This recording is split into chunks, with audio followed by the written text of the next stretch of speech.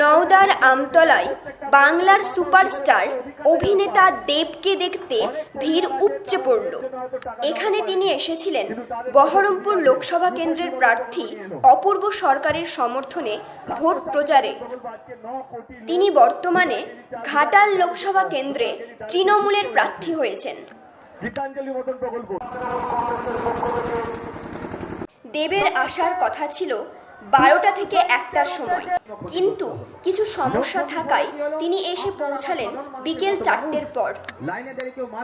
Amtala high স্কুলের সামনের আমবাগানে তার জনসভার ব্যবস্থা মমতা ব্যানার্জির নেতৃত্বে আগামী দিনে এই বাংলায় বিয়াল্লিশে বিয়াল্লিশ হবেই হবেই হবেই এই শপথ আমাদেরকে নিতে হবে। দেবের হেলিকপ্টার কখন আসবে সেই আশায় অসংখ্য মানুষ সেই দুপুর বারোটা থেকে ঠাই বসেছিল।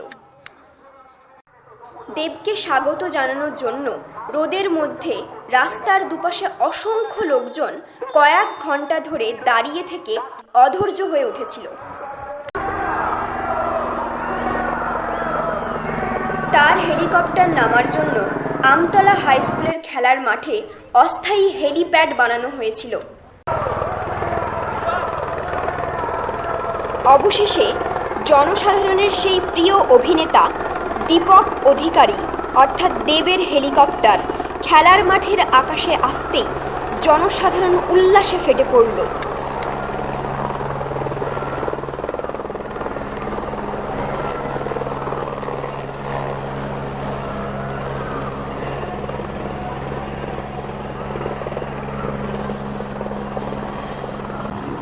আকাশে দুচক্কর কেটেই ধীরে ধীরে হেলিকপ্টার এসে নামলো আমতলা হাই স্কুলের খেলার মাঠে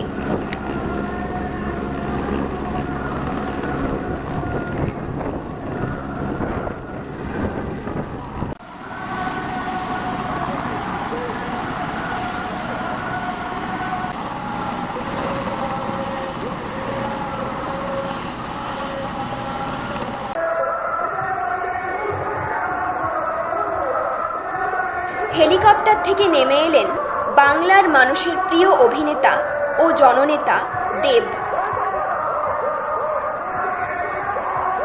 তাকে স্বাগত জানালেন মুর্শিদাবাদ জেলা সভাধিপতি মোশারেফ হোসেন ও তৃণমূলের স্থানীয় নেতাগণ।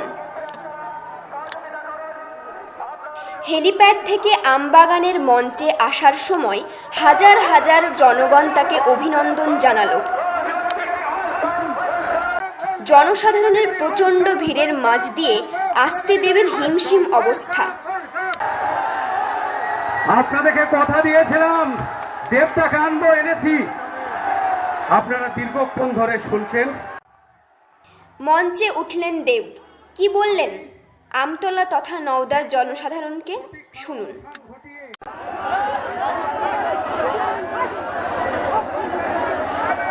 চলে আসি। বলছি আমি আপনাদেরকে রাজনীতি বলতে আসিনি। হ্যাঁ কিন্তু এটুকু বলতে এসেছি যে নির্বাচনে উন্নয়নের কথা হোক, আমি চাই দু হাজার নির্বাচন উন্নয়ন নিয়ে হোক, যেই দল, যেই প্রার্থী আপনাদের হয়ে কাজ করেছে, আপনাদের সঙ্গে ছিল, আপনাদের সঙ্গে আছে এবং আপনাদের সঙ্গে থাকবে, সেই দলের হাতটাকে শক্ত করতে হবে। আর যদি নির্বাচনটা উন্নয়ন নিয়ে হয়, যদি সত্যি নির্বাচনটা উন্নয়ন নিয়ে হয় তাহলে আমাদের সরকার বিয়াল্লিশে বিয়াল্লিশটা পাবে, কারণ আমাদের সরকার দেখতে সাত বছর হয়ে গেল। আজকে দাঁড়িয়ে ষাট লক্ষর চেয়ে বেশি ছাত্রী এই কন্যাশ্রী প্রকল্পের সঙ্গে যুক্ত হয়ে আছে।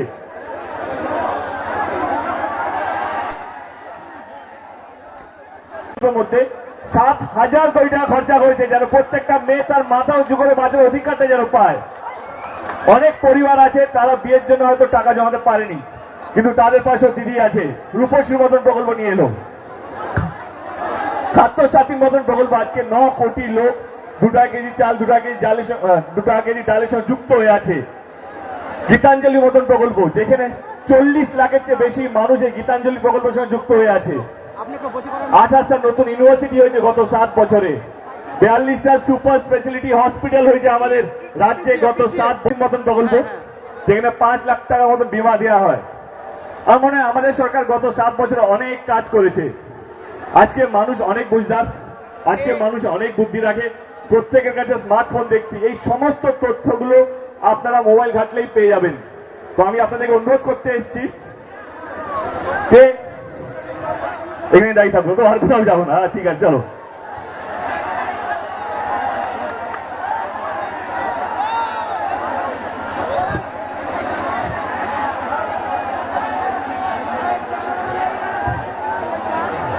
তো নির্বাচনটা উন্নয়ন নিয়োগ।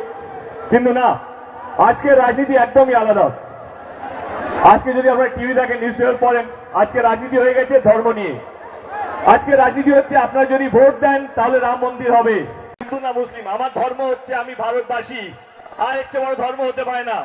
দেশ এগোলে প্রত্যেকটা মানুষ এগোবে। তো আমি আপনাদের অনুরোধ করতে এসেছি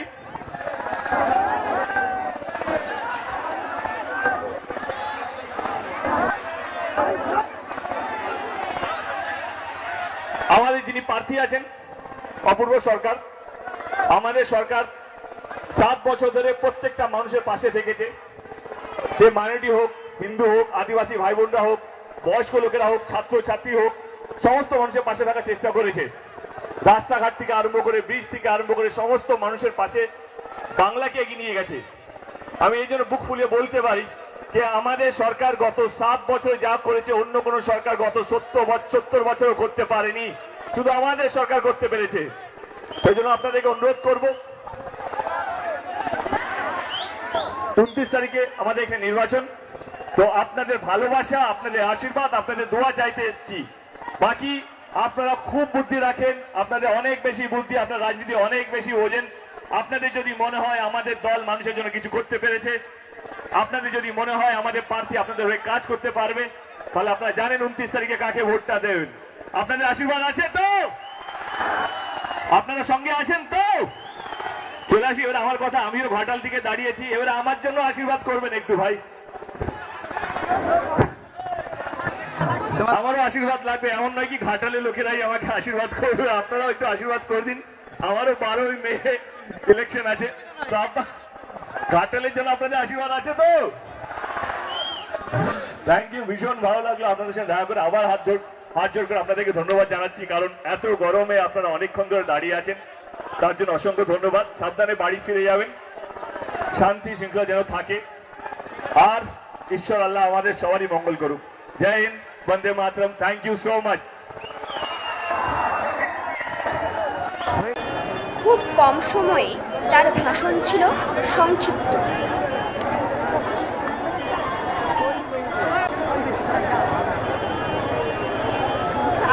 বহু কষ্টে মানুষজনের ভিড় ঠেলে হেলিকপ্টারে গিয়ে উঠলেন